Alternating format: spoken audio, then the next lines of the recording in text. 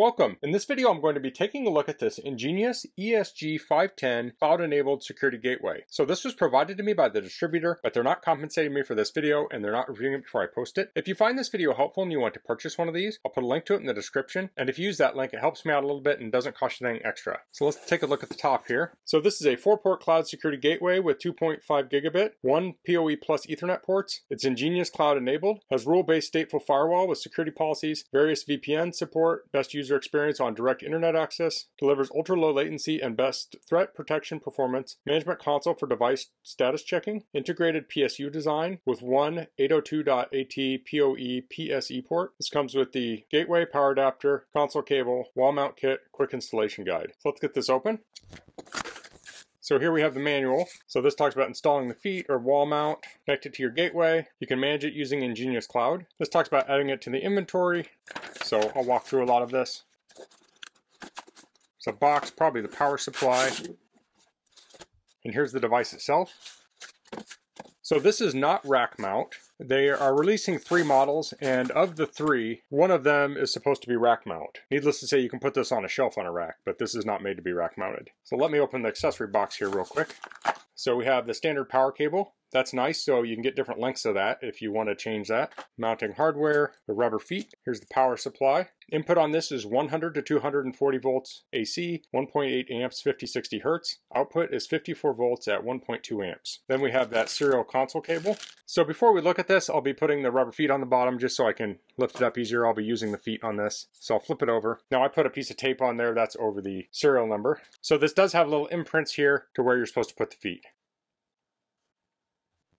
Okay, now let's take a closer look. So this is the front. We have power, wireless WAN, test PoE, reset, console, wireless WAN. So we have a USB 3.0 port there. We have WAN 1, WAN 2, then we have port 3, port 2, port 1. And these are all 2.5 gigabit ports. And this one here is PoE plus. So I'll come back to this in just a second. We have vents on the side, we have power in the back, vents on the other side. We have those feet, and then we have the little slots here if you want to wall mount this. So this has a number of different configurations. We have two WAN ports, so you can set this up for failover or round robin. At the time I'm recording this, this does not do aggregation, so you can't combine these to get a higher overall top speed, but you can round robin them so it will use the bandwidth from both internet services if you have two, and then if one stops working, it will fail over to the other automatically. This also has wireless WAN, so you can actually hook three different WANs in here. So this works with a cellular USB hotspot, and if I remember correctly, they said there's hundreds that work with this. Now, if you only have one WAN here, you can use this for your network, your ethernet. So that gives you three ports here. And of course, the one on the end here is the PoE plus. So this is cloud managed, and I'll get into that. This does not require the cloud to be online. So if the cloud did go out for whatever reason, this will still work. It does have the configuration locally. This has built-in VPN. It does client-to-client VPN. So if you have small businesses, say you have five locations, you could put one of these at each location. You can go into the interface, hit a switch, and it will VPN everything automatically. You can also have clients like a laptop connect to the VPN on this. Now you can connect this directly to the internet, but if you're not able to, you can also put this behind an existing router and it can still connect up that VPN. So it is best to hook it directly up to the internet though. So I'll do a little sample configuration of how you could wire this up. So I have some other equipment here. I'm just showing this for demonstration purposes. This is not connected up. This is a DSL router, so it has four ports on it. And this would have two modes on it. It would have a bridging mode or a router mode. So I typically use this in bridging mode. So when you plug a cable in here, it spits out an IP address that is your public IP address. So I'll have that over here. So on the security gateway, that would go in WAN 1 probably. You could probably put it in WAN 2, but I don't know why you do that. You put it in WAN 1. And these cables I'm using are category 6 cables, even though it's just for a sample. It doesn't really matter. But So next I have this. This is an EnGenius ECS 2512 multi-gig managed switch. And this and this access point were also provided to me by EnGenius for a previous video. But this has eight 2.5 gigabit ports on it. It also has these SPF ports. So I can connect that up here. I'll just connect up port 1, and I'll connect that up to P2 here. So we have our internet coming off of here. This is doing that, and then we have our private LAN here going to the switch. And this is all 2.5 gigabit here between these two. And here we have an EnGenius ECW 336 access point. So this is a Wi-Fi 6E access point. This will accept up to 5 gigabit Ethernet. In my testing, I got about 2 gigabit down and 1.8 up on it. So 2.5 will work great for this. So I can plug in there, and I can plug directly into the security gateway. So since this is PoE plus, This will supply power and data to this access point. So this is a great option for a small office that may only have one access point and really only need one PoE port. This has you covered. You don't have to buy any other equipment. Now, many other offices will have larger things like security cameras and phones, so they might have a bigger PoE switch. But this is the 2.5 gigabit. So if you do have that high bandwidth area where you want that faster speed on one of your access points, you can use this here. So this could be pretty much a full setup. You could have your clients plug in here and you can have 2.5 gigabit. Like if I had a server plugged in here, I could have 2.5 gigabit from the switch. It would run through here to your access point. So this is all cloud managed also. So you could set all of this up, send it out to one of your locations, someone can plug it in and it will just start working. So next I'll go over adding this to the cloud. Okay, so to add this to the EnGenius Cloud, I'll turn it over. So now I have access to the QR code, which I have under this tape. I'll open up the app. Now I've already created an account on here. It's pretty straightforward to do. And there's a little plus down here. I'll add a plus. I'll say register device.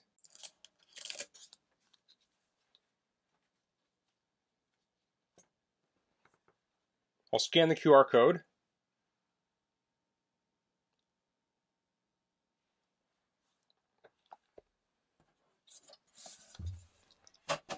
The gateway came up on my iPad. I'll hit register.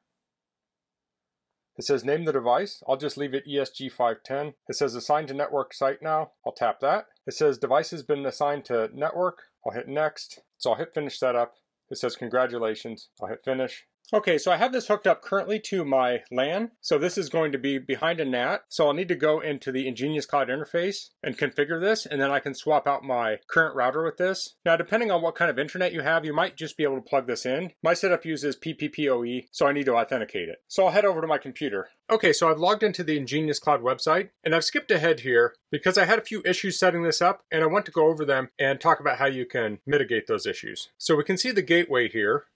So if I go to Manage, Gateway, and we can go to Detail, and we can see detail about the gateway. But in order to set it up, I want to go to settings on the left and then gateway and then interfaces. So here we have the WAN interface and I wanted routed mode. So I currently have the internet plugged into the WAN port and I have the LAN connected into my computer. So we have two WAN ports here. We have WAN 1 set up. I have mine set up for PPPoE and I have my username and password that was given to me by my provider. So I entered that information here. And I think my problem was I had my username or password wrong. Now when you plug this into the internet, you can't access it. And that's the big issue. And I'll talk about how you can get through that after I go through this. So if we scroll down here, we have DNS server from ISP. So you can also change this to Google or something else. And then for my internet provider, I have to have a VLAN ID of 201. So I entered that in.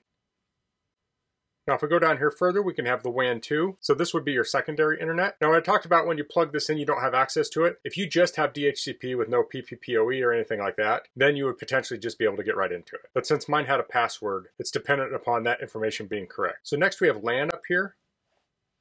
So I added a LAN. I'll click on that. So here I gave an IP address range. So mine's 192.168.7.1 slash 24. If I go to DHCP, we can see what it says here. It says run DHCP server. I have that selected. And then we can say what we want for our range here. So this is the reserved range. The rest will be dynamic. Then we have advanced settings down here below. On top here, we also have captive portal and splash page. So these are similar to what you often see with Wi-Fi. So with these settings in there, the security gateway will issue IP addresses on the LAN. Now the IP address of the security gateway itself will be the 192.168.7.1. So let me go back here so if we go to the gear on the left and then go to general settings, we'll see some general settings here. Amongst them, we'll see local credential. So I set a username and password here. So that allows me to access the interface of the gateway directly. Let me show what that looks like. I'll open up a new tab. I'll enter in the IP address. It says connection is not private. I'll bypass all this. Okay, we have that username and password, so I'll use that username and password set up there. I'll log in. So this is the web interface on the security gateway, and you can't do everything here. But what you can do is set up the WAN interface. So like in my situation where I typed the password wrong, I can go in here to local setting and I can enter in my VLAN, my connection type, my username and password and fix that. So when you're setting this up, make sure you set up the LAN on the security gateway, enable the username and password, get all that saved, then go in and enter in the WAN information. And if you have trouble getting into the WAN, connect a laptop or something to your LAN port, go to this setup page and set it up. And that makes it more like a traditional non-cloud device. Now, as I said before, this is if you have a more complicated setup with the PPPoE. If you just have DHCP, there's a good chance it will just work. So if I go back to device status here and scroll down, this will let me know that I'm connected to the WAN network, the internet, and Genius Cloud. So that's the basic setup. That gets you online. Then you can go through here and set up the other configurations. Let me just show VPN real quick. Go to gateway. I can do site-to-site -site VPN. I can tap this and turn it on. And if I had multiple of these set up amongst different sites, it will automatically make them VPN. Now you want to make sure you use a different subnet for your local network on each of the networks so they don't conflict with each other. But that's super easy to do. We can also do client VPN and firewall. So this has your port forwarding here, one-to-one -one NAT, allowed services. So if you look up here at the top right, it says apply to all ESG in the org. So if you have multiples of these, you can set up one set of rules and have it apply to all of them. So you don't have to go into individual devices and set it up. So this can really make it easy to manage multiple locations. So that's the EnGenius ESG 510 four-port cloud security gateway. If you're looking for a security gateway that's easy to use and you can remotely manage, I think this is a great option. So I'm currently on my LAN, but if I was offsite, I could access this all the same, so long as the internet is up, and I can manage it all from one location. So when you combine this with the EnGenius switch and access points, it makes it super easy to manage your whole network from one location. So that's all I'm going to cover in this video. If you have any questions, please leave them in the comments. If you like this video, please click like. If you haven't subscribed to my channel, I'd appreciate if you could do that. And thanks for watching. Until next time, goodbye.